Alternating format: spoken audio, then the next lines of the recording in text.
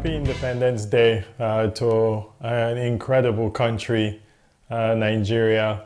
Happy 60th birthday. Um, I tell you, Independence Day brings me such great memories. Um, living back home and uh, following that year, uh, every year, October 1st. Um, just how people are pumped up uh, to be uh, celebrated.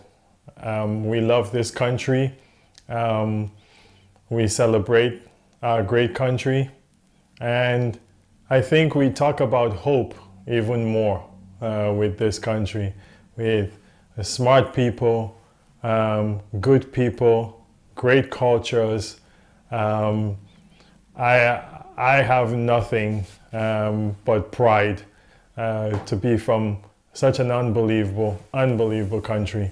Um, I wish everybody and the best of days and uh, both Nigerians in Nigeria, Nigerians living all over the world, Nigerians in Canada, where I live. Um, I wish you nothing but the best because I know we're going through a hard time now. I know um, COVID has brought uh, some downtimes with us, but I truly believe um, that the best is yet to come.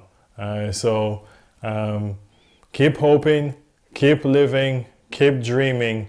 Um, we are so talented as a country, as a people. Uh, I know the future is really bright for us. So uh, once again, happy Independence Day, happy 60th uh, birthday, Nigeria, and uh, more big dreams to come, uh, more great times to come, and God bless you.